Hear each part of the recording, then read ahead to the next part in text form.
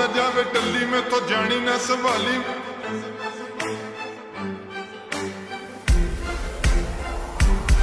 ਉਹ ਪੂੜੀ ਦਾਰੂ ਪੀਂਦੀ ਬਾਲੀ ਤੋਂ ਲਾਲ ਟੋਪ